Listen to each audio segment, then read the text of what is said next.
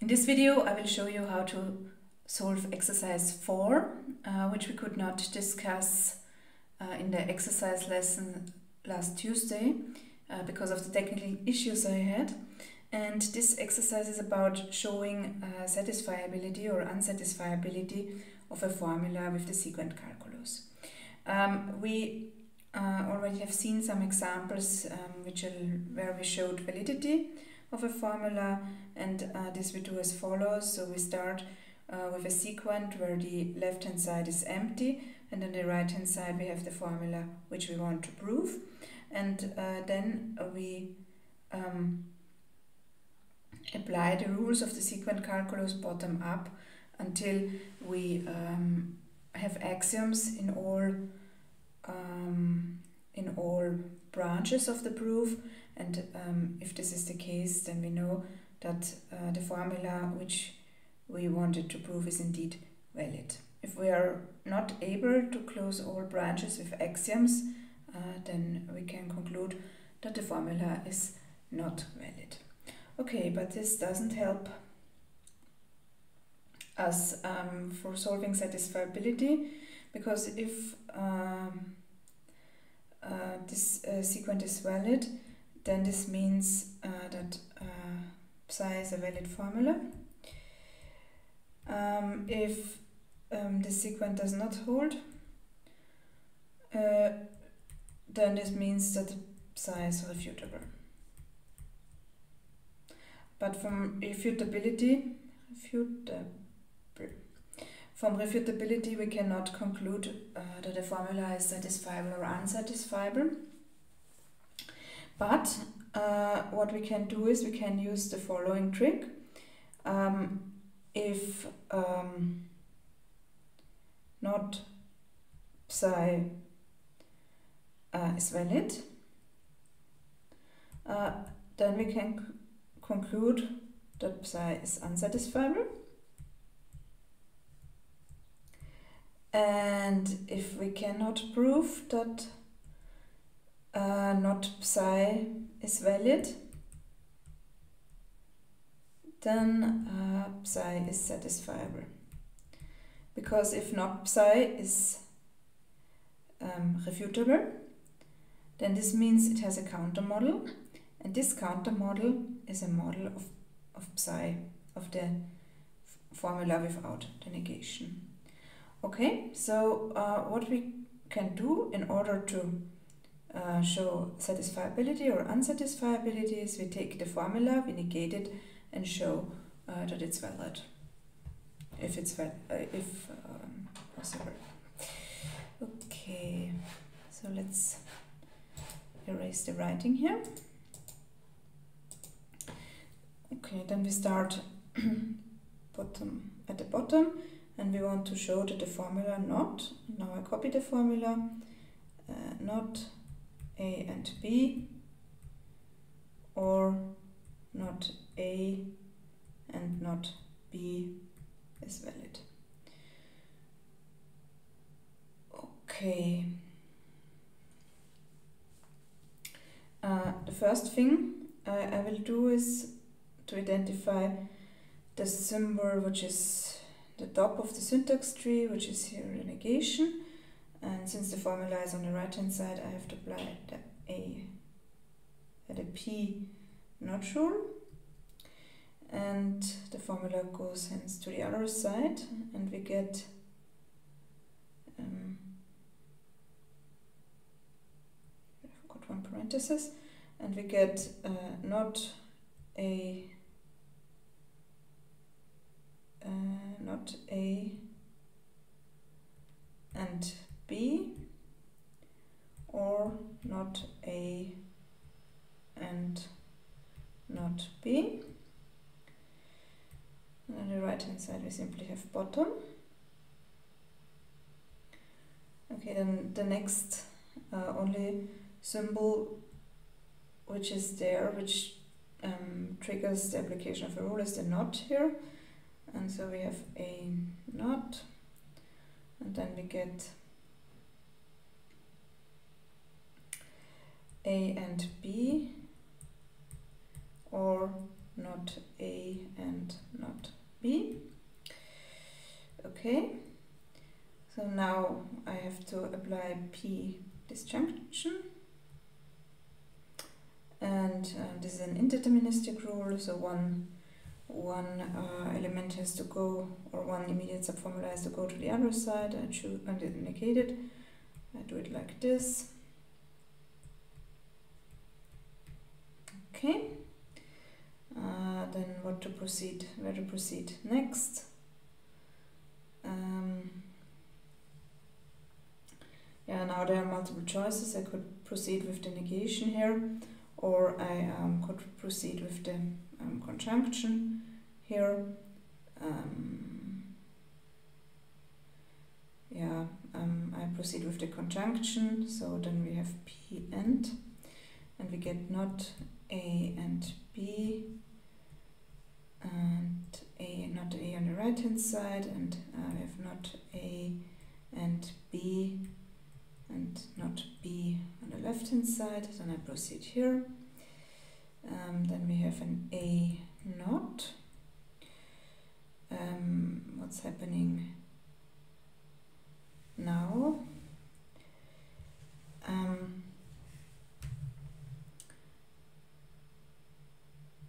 let's do P not.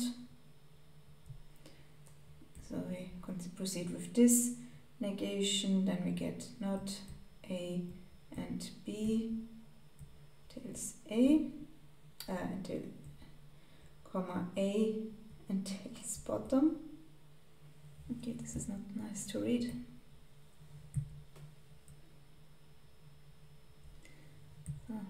Comma, comma A, and then we have bottom like this. Now let's um, apply a not, which is only choice. So we have a on the left hand side and A and B on the right hand side. Then we have um, P and we get A, it's A which is a sequent, which is an assumption. Uh, but here we have A sequence symbol B uh, on the I should have put it on the same level. So we have A on the left hand side and uh, B on the right hand side and uh, here I cannot proceed. So here I have indeed found a branch where I cannot continue. And uh, this allows us to conclude that um, okay so we see that uh, psi not psi is not valid if this is psi and hence uh, satisfiable and uh, we get a model uh, when we set A to true and B to false. This I can read off from here. So uh, this um, sequence is um, not valid uh, because if I set or a, a sequence is valid if whenever the, the formulas on the right uh, left hand side are true, then also the formula on the right hand side has to be true. And if I set A to true and B to false, uh, then I have exactly um, an assignment which um, violates uh, this condition. And this gives a counterexample to this formula. So if I set, uh, this gives a counterexample to the negation of the formula, and hence it's a model of the original formula. So if I set A to true and B to false, this gives us false. Uh, here we get also false because A is true and not A is um, false. We have a conjunction. Uh, overall this gives us false, false or false is false. And then if we negate it, uh, we get a 1 for the full formula. So the formula is true under this assignment here. Okay, and um, this is the trick how we can uh, solve a formula and how we can decide uh, that a formula is satisfiable. Um, here I have another example. Uh, now we shall uh, consider the formula without negation. So what we get is not. Um, and in order to show satisfiability, we have to negate it, uh, but it's uh, in principle the same formula as we have it here, but just without negation. So in consequence, we have only one not in the beginning. We have not A and B, or not A and not B. Uh, so only one choice what we can apply, P not. Um, and we get A and B or not A and not B. And um, this is uh, different um, than we had it here uh, because there was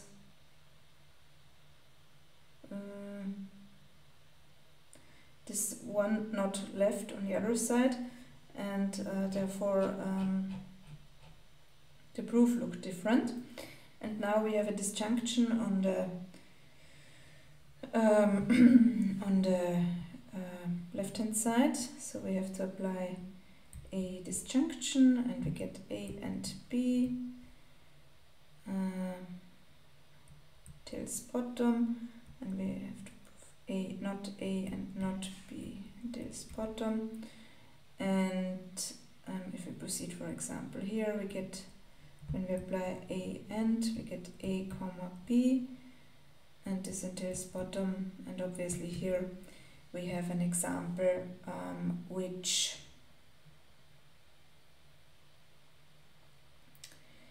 um,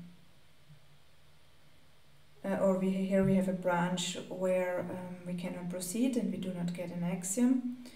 And uh, therefore we can conclude that uh, the formula uh, we have here is satisfiable under assignment.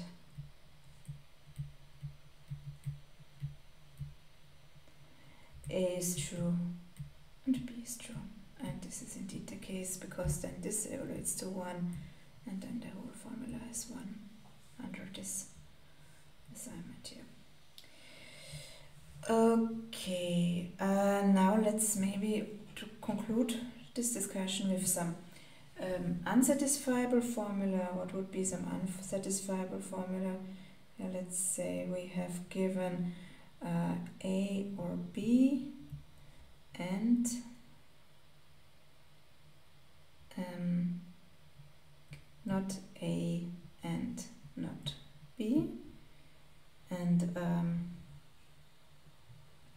obviously this formula is um, unsatisfiable because uh, this is the same as A or B and not A or B and this cannot be true. Okay, but now let's see what's happening if we want to show that this unsatisfiability with the sequent calculus. Um, we negate the formula and proceed as before. We have P naught as the first rule to apply. We get A or B and not A and not uh, B.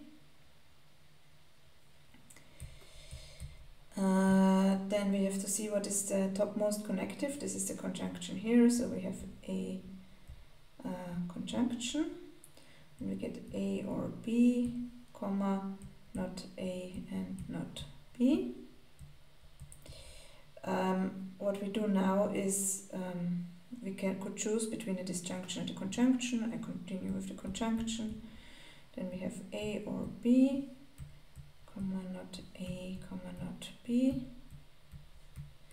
Now the only uh, the only uh, yeah I could do continue with negation, but this wouldn't much help. I could do the disjunction, so I get I have a disjunction, and then we get A not A, B. And here this is bottom. And uh, this is the one branch, and the other branch is B, not A, B, bottom. Yeah? And now I check here. I have an assumption, so I have a contradiction assumption. But this is an axiom, and here I lost the not during copying, so I have B not A not B, and this is also a contradicting assumption axiom. Yeah, okay, and since the not the negated formula is um, unsatisfiable, um, uh, since the negated formula is valid, uh, I can conclude that the original formula here um, is uh, unsatisfiable.